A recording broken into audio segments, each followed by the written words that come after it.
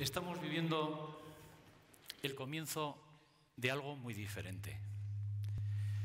Necesitamos entender el presente de otra manera para poder vivir el futuro. Si me preguntaran cómo definiría el futuro con una sola palabra, diría que es, va a ser, impactante. Porque nos va a impactar en toda nuestra vida, en todo lo que hacemos. Y si tuviera que, o me dijeran, o me dejaran decir una segunda palabra para definir ese futuro, les diría que apasionante. Apasionante porque si lo hacemos bien, el mundo puede ser diferente y puede ser mejor. Lo ha comentado Our regional minister, Joaquin Bildarratz, just said that, as did the Secretary General. The fourth industrial revolution is going to transform humankind because it's not going to just change what we do, but it's going to change who we are. Because there's going to be a coming together of technologies, and humans are going to be tied into what is digital and the biological and technological world. We're all going to be together. And this way of seeing things means that we're heading towards a scenario which is characterized by an automated, a cognitive world. A world in which there's a great deal of connectivity, where we have immediate access to data, 5G is already here, and people are now working on 6G. But above all, we're going to be connected to everything. You've all heard about the Internet of Things, and we're now working towards the Internet of Everything. But in the future, we'll have the Internet of Feelings, where we, people, our sensory organs, are going to control the whole of our surroundings. And how exciting is that? And to face this future, there are three strategies to face this future. One is just to live in the past and just become irrelevant. Just, you know, see what happens. You know, things will go back to the way they were. For me, that's just being lazy or sloppy. Or we can adapt and survive. Okay, that's conformity. Or we can transform, innovate, and face the future. I'd call that being damn brave. Because the future isn't we're not waiting for it. We're not expecting it to come. We face it. And that's what we're doing today. we're going to explain a little bit about that to you today. So to do that, to face the future, we need to prepare people for disruptive change. Things that we don't know about. And I'm hoping that we're going to be able to see that future together through those people that are trained.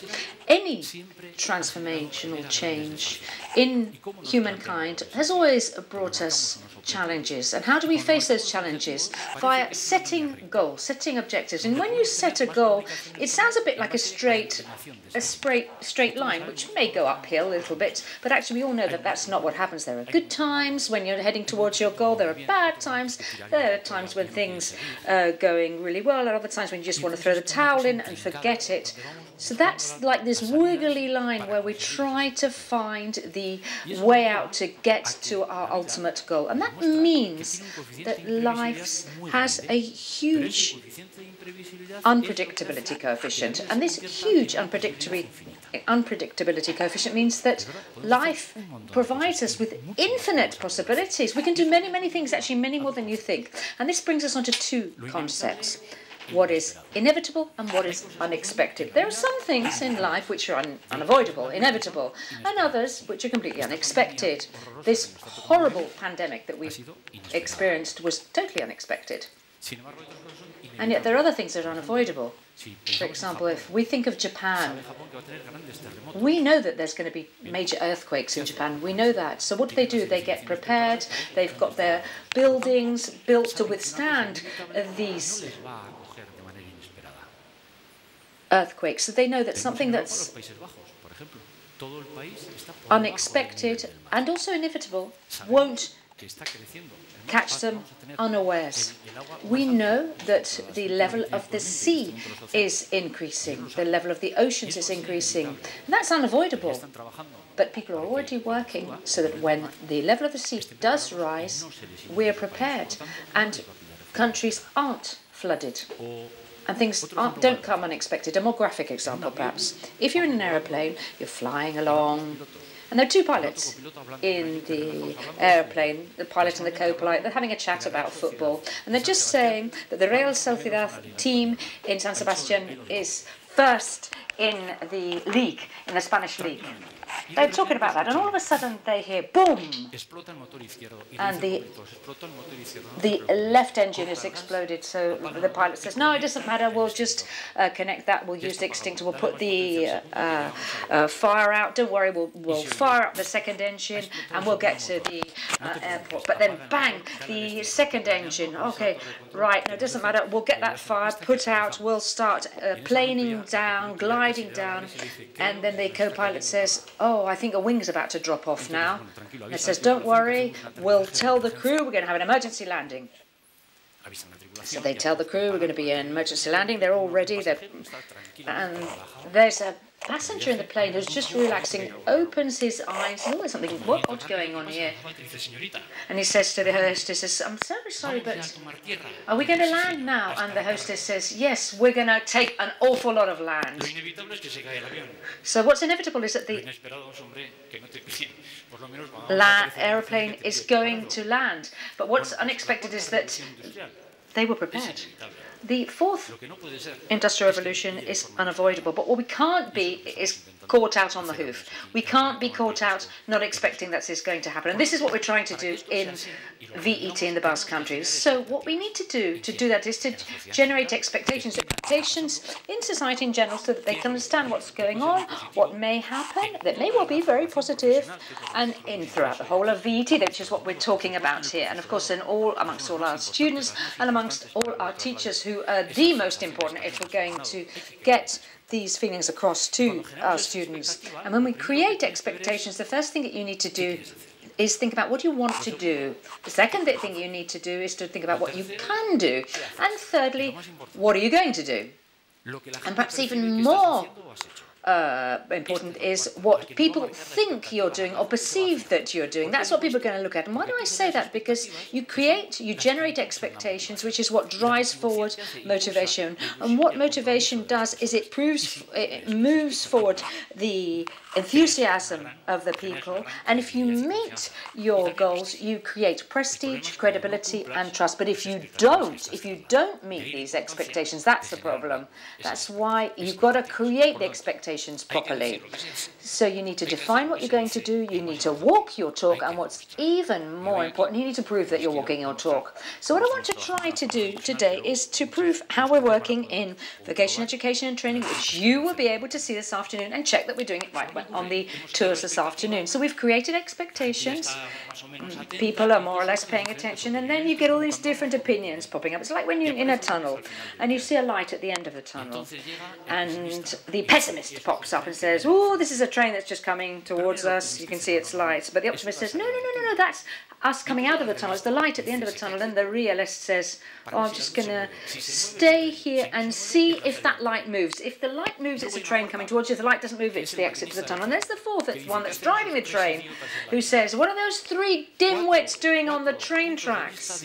So there are four different viewpoints about a light at the end of a tunnel. That's the way things are, and we also know that if we can manage expectations well, there'll be different viewpoints. And that's what happens. And we know that there are people that are drowning in problems, and there are also that are people that swim, that like floating around in opportunities. So we need to create all the opportunities that we can, and those people that are uh, swimming in those problems or drowning those problems can also get hold of a life raft which represents an opportunity. It's not just a matter of seeing the glass half empty or the glass half full. No, what we need to know is whether we're filling that glass or emptying that glass. That's what's important because this is down to uh, personal accountability and general accountability in all of these changes and transformations that we're going to have to go through. So the word that I want to talk about today is to is transform. We need to transform. We need to change. We are changing. We are transforming. If you look back in history, when humankind has taken a great leap forward, it's always been a very convulsive moment, a very difficult moment. And I think we're going through a difficult moment at the current time, and it's going to carry on. But what's important is that then there will be huge leap forwards and these will benefit humankind. So future is always a continuous movement. It's something that never ends. That means that a static system will never operate in a continually changing um, world. So we need dynamic systems, dynamic colleges, and dynamic VET. That's why we in the Basque government are working on three transitions with a very, very important goal. Our regional minister said that human sustainable development three, through, through three transformations, digital technological transition, energy and environmental transition, I think three weeks ago the uh, Secretary General of the UN said we are committing suicide. We are committing suicide. That's what the UN General Secretary said. It's no good just reducing greenhouse gases or pollution or CO2. That's insufficient. It's no just no good just recycling what we need to is to regenerate our planet because we're committing suicide so that we can guarantee for the future generations that they're going to be able to live in this wonderful house, this wonderful house which is really our world, planet Earth. We need to change our lifestyle because otherwise the climate is going to change our lives. This is really, really important. And then a healthcare transition which obviously has been through a terrible time during the pandemic. And we are changing uh, the healthcare system a lot because we're learning through the pandemic. Our productive fabric is being changed in the Basque Country. We are resetting employment and we're adapting our training systems. And as our regional minister said, we're turning VET into smart VET. Smart VET which needs to respond to what's happening now, to the needs of the people so that they can work, our students so that they can work, and the needs of our companies so that they can be competitive. And we're also working in emerging environments and things that we see through digitization we need to respond to.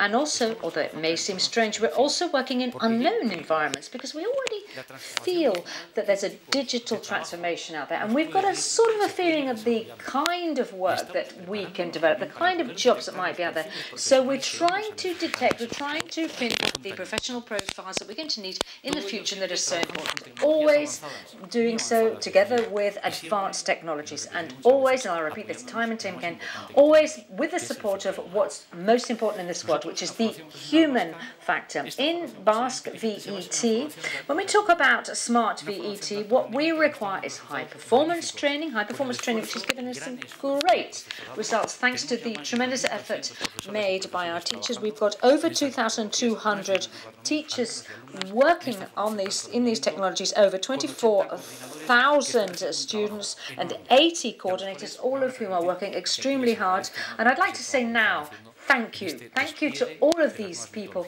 who are putting into practice these new learning teaching methodologies. We are doing all of this in a new kind of college.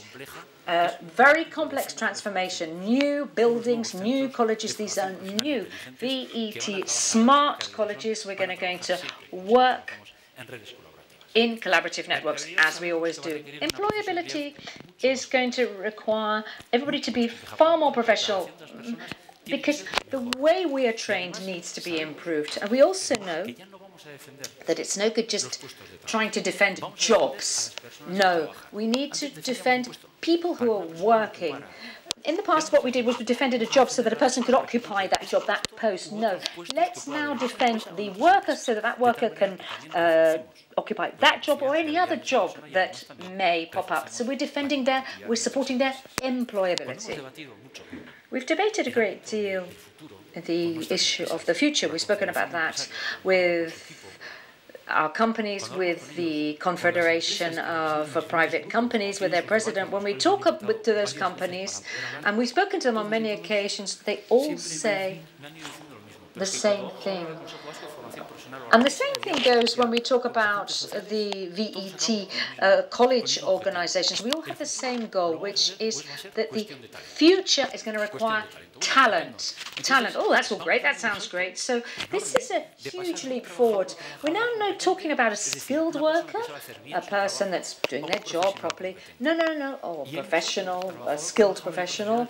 That's great, a skilled professional, that person knows how to do things well, but you've got to add something else to that. We need a professional, a worker that can add value to what they're doing, not just do the job professionally and well. And what's more, we need to take a further leap, and that's what we're doing now. What we need is talented professional. I'm sure you've seen many, many definitions of talent, but we need to apply those definitions. How can we get talent out of our classrooms? It's true, talent is innate. It's true, but you can train talent. And what we do in our classrooms is train that talent. How do we do that? Firstly, we get uh, talented people need five components. Firstly, there's a cultural component. They need to understand what's happening in life, in their surroundings. They need to understand. They've got to have general culture, general knowledge. They need to have a scientific component. They want to understand the why and the what for of things. Then a technological component, because these people are going to use an awful lot of technology, very different technology as time goes by.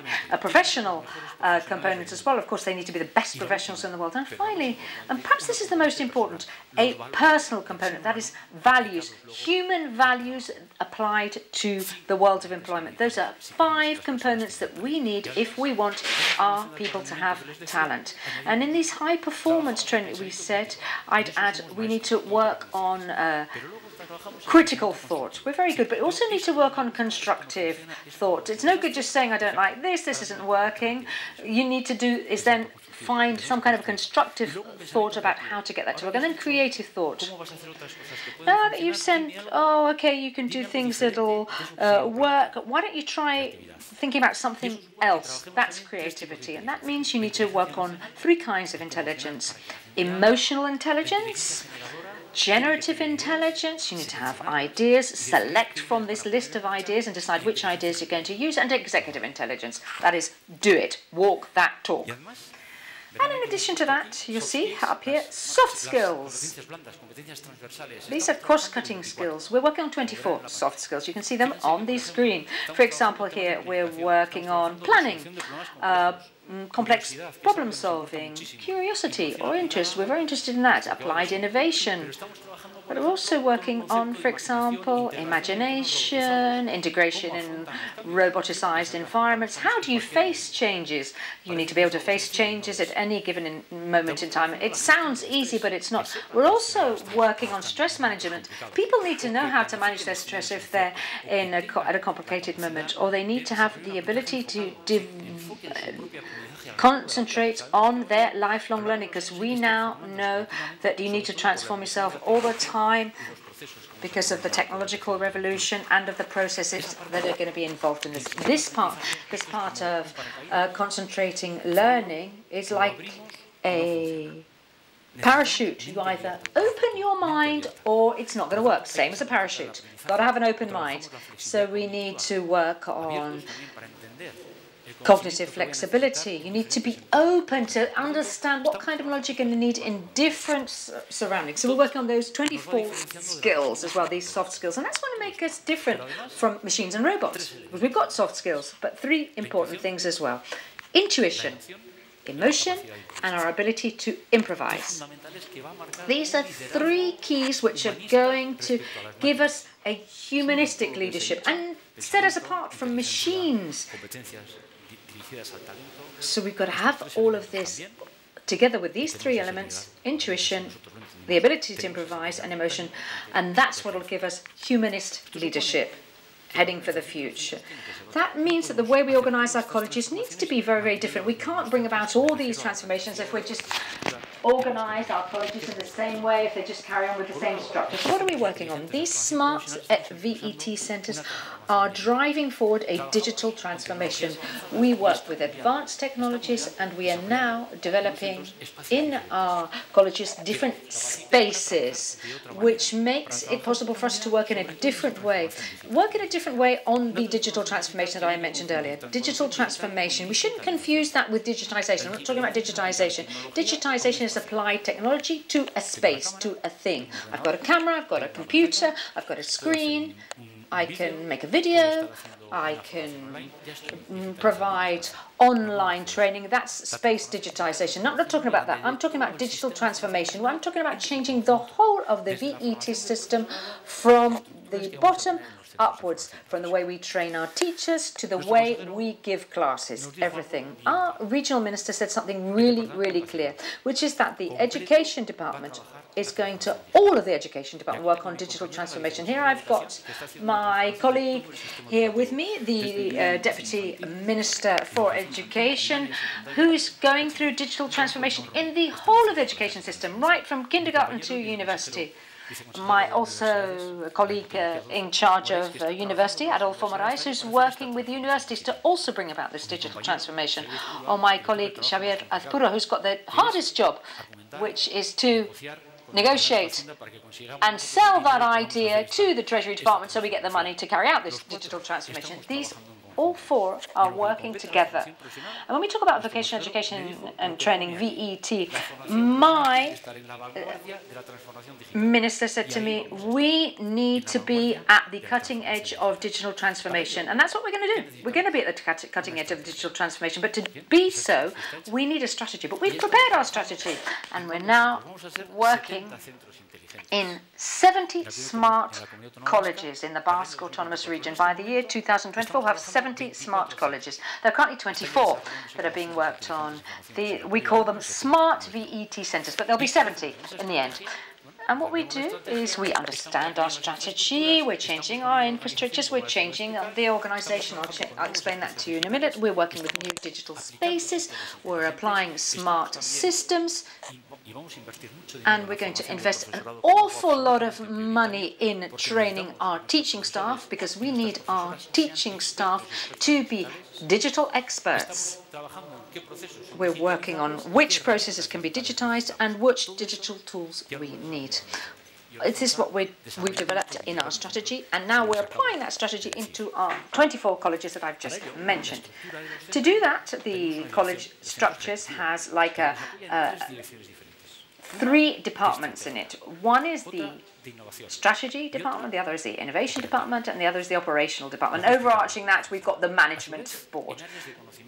And there we've got knowledge areas. I've got all kinds of uh, teachers, and I'm a teacher, by the way. We know all these departments. And what we're going to do is replace departments with what we've called cross-cutting knowledge areas. Because there's no point in having a department of automation and a department of mechanical manufacturing or a department of IT or sports sciences because now if you're mixing all the different areas where we work we're talking about um, people that work in the healthcare sector uh, dealing with people that have uh, specific needs or the IT field needs to work and collaborate with autom the automotive department so teachers need to work interdepartmentally.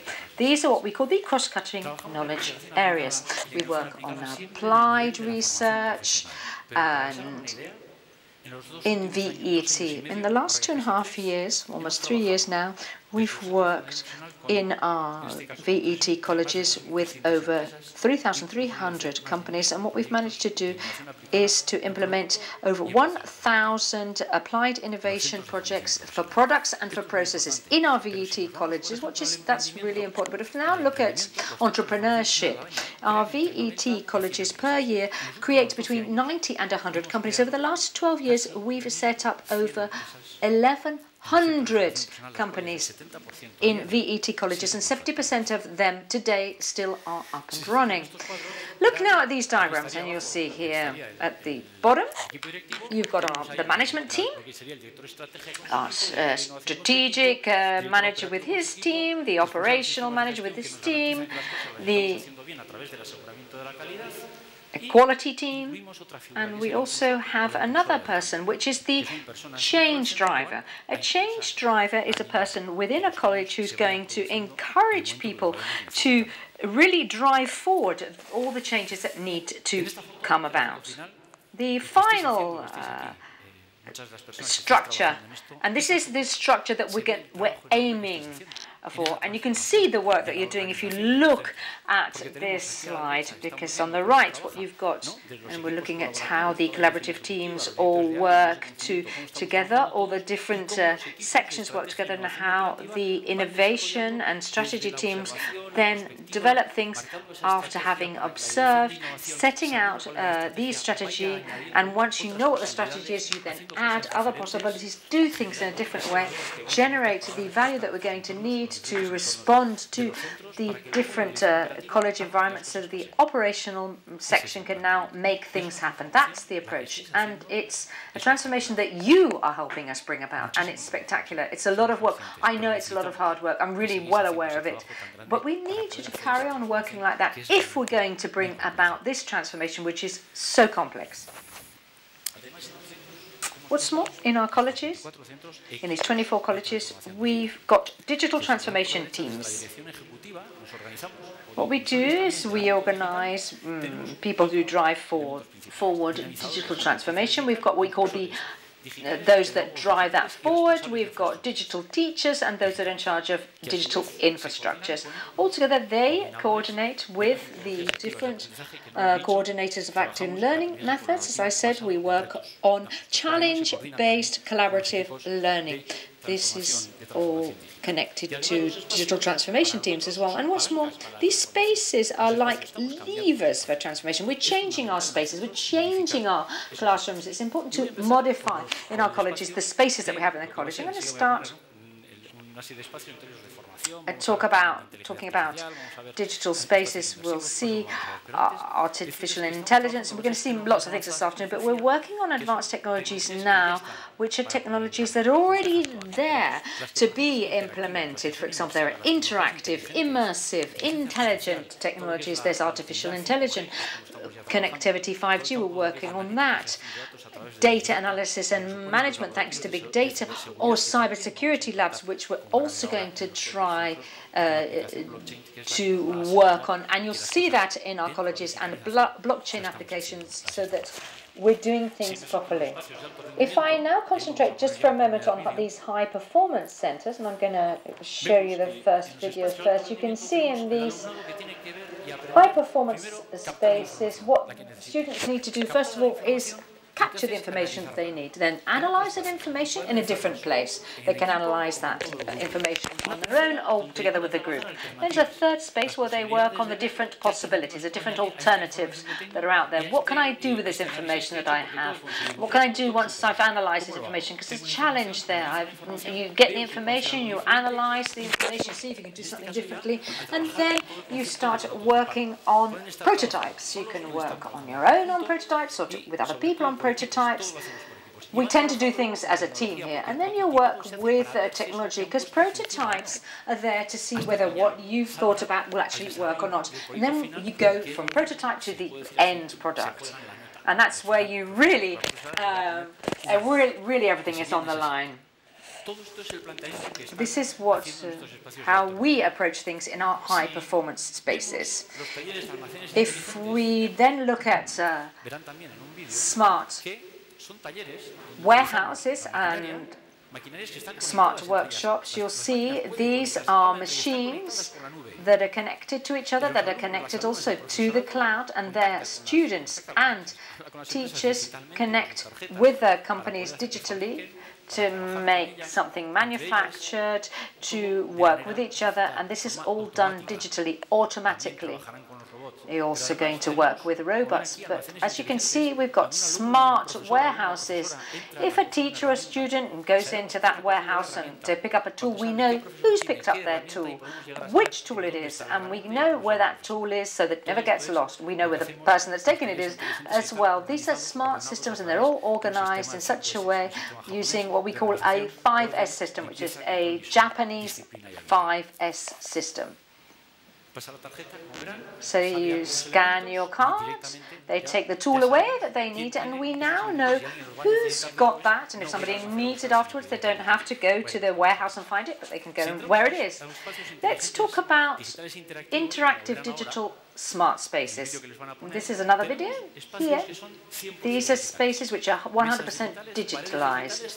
Digital walls, 360 degree digital walls and digital tables where you interact with them. You'll see this, by the way, this is in a specific um, college that's in Vergara where we're trialing the system. We're gonna, we've got 33 of these uh, to see how we can work with them, how teachers and students can work in 100% digitized surroundings. These are uh, tables where you can send information from the table to the wall or from a table that's here in San Sebastian to another uh, table in another um, college in Cadiz. That's what digitization can do. These are 360 degree screens, and so we can work, and you can see these screens, they're 360 degrees, and they always work in these uh, digital tables. So if we now move on to interactive spaces. Oh, sorry, immersive ones. I've just spoken about the interactive ones. These are immersive ones. Here you can see people that are in a space using machines and using augmented reality, virtual reality, and mixed reality. You can work, work with robots, digital twins, simulators. What's important is you're part of the learning experience. You're inside these uh, avatars, these robots. You can see, they're seeing what you can see on the screen, by the way. It's a car. You can uh, take the door apart, or you can even get inside a human body and take the human body uh, to pieces, or you can be inside the car engine, see how that engine works. So in this case, this is an, a wind turbine, and they're looking at how this wind turbine works, or a, in an operating theatre. Here you can see for example, how a patient's being virtually cared for. We can also work in virtual reality, mixed reality, where there'll be people physically with other people who actually aren't physically there, who will be uh, connected virtually will be even able to touch them. These are the new spaces that I'm talking about when I talk about vocational education and training. Also working on artificial intelligence. I'm not going to project this video because something's gone wrong with it. Of course, it's artificial intelligence. If it was a human, it wouldn't have failed, but because it's artificial intelligence, we've had a problem with the video. But what, this is really important for teachers because it turns out that artificial intelligence can help us improve performance in the classroom. You can use more data, but it turns out that if you use artificial vision, you can actually capture people's emotions. You can see whether a group of students is no longer interested in the class, and the professor can tell that. They can realize that and change the class, we can do things, we can detect things that we hadn't even thought would be possible in the past. And we're working on them now so as to be able to apply them, to be able to see how far we can go with that and research with this to see whether it can be applied. And here, of course, ethics has a really important role to play. And then cybersecurity labs. I'm hoping that this video will work. Here you can see how we're working with something as simple, which is to defend us from possible cyber attacks. We're talking about machines connected to each other via the cloud. Imagine if they put a virus in the cloud, then all of our workshop would come tumbling down. So we've got cyber security labs where students and teachers know how to attack, know how to defend themselves from cyber hacking in an IT environment and also in an industrial environment. We're not so worried about a virus getting in a uh, computer. We're talking about a virus attacking a machine that is manufacturing something. You can imagine a virus could actually completely paralyze a manufacturing process and we would lose sales that way. So it's really important that our students know how important cybersecurity is and our teacher, not just the IT teachers, but of course them as well, but those that are in machining and other uh, professional areas that really need to know about that. So,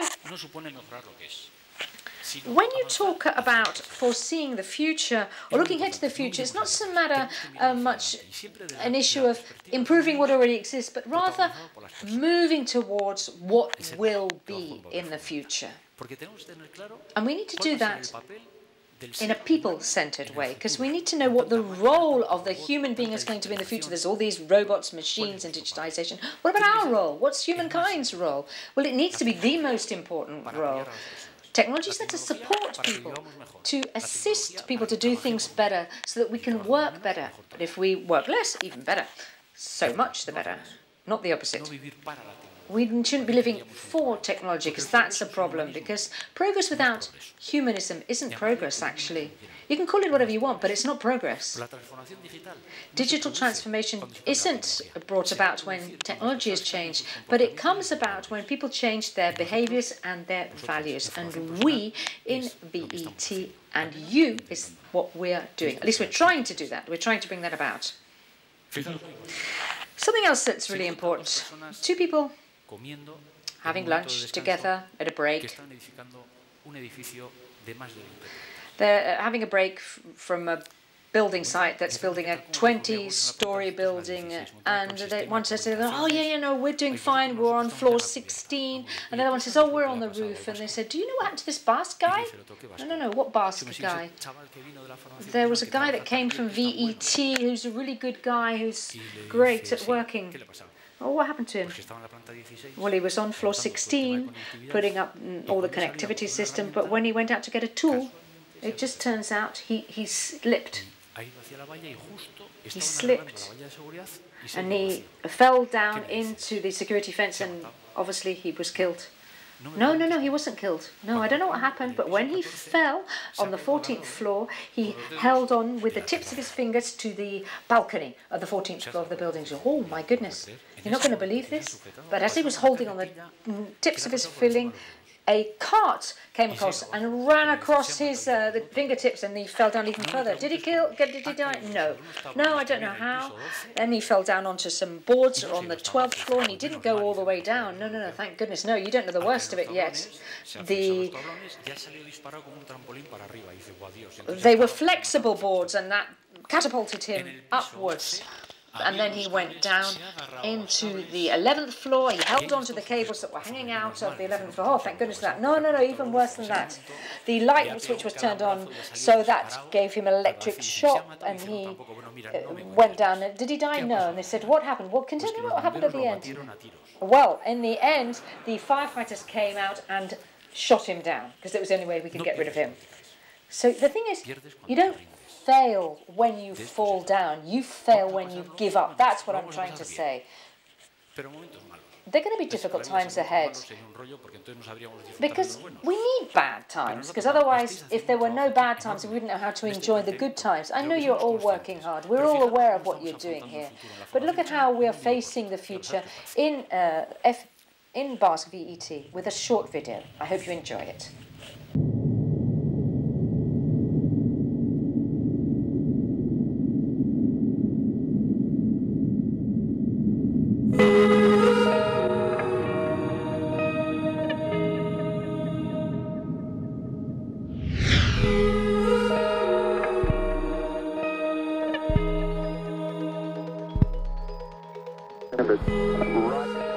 Avanzamos hacia un futuro inteligente. The fourth industrial revolution is unfolding rapidly. The fourth industrial revolution is unfolding rapidly. new reality, and we can already sense that the world in 2030 will be a very different place.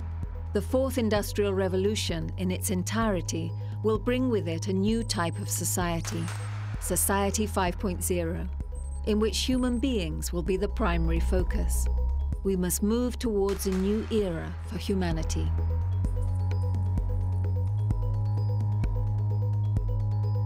We are heading towards an automated cognitive world with immediate data access in which everything will be connected to everything else.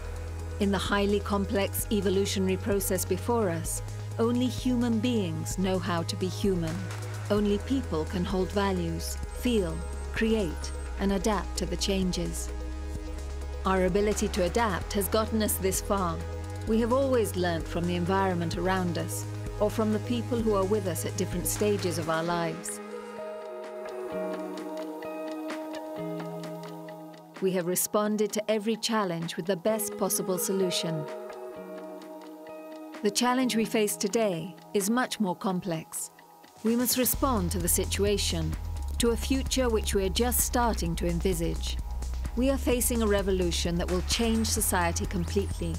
Robotics, artificial intelligence, digitalization and smart systems will transform all areas of our lives.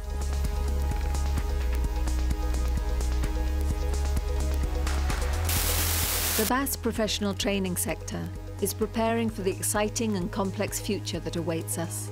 It is creating new types of smart professional training centres, which will generate a new work culture and use highly advanced technologies. They will use new methods to respond to new objectives and create smart organisational structures and workspaces. These centres will develop creative ability by building organizations with a genuine capacity for learning and creativity. They look to the future, they have ideas, they take risks, they're autonomous. They use different tools, methods and structures. But above all, they put the people within them at the center.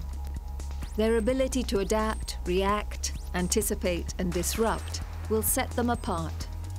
Digitalization, robotics and artificial intelligence are tools that will help us to live and work better by supporting progress and well-being in our society.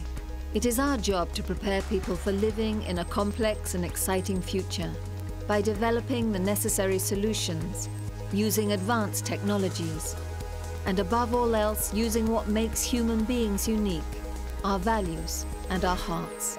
Technology may set us apart, but our hearts will allow us to transcend.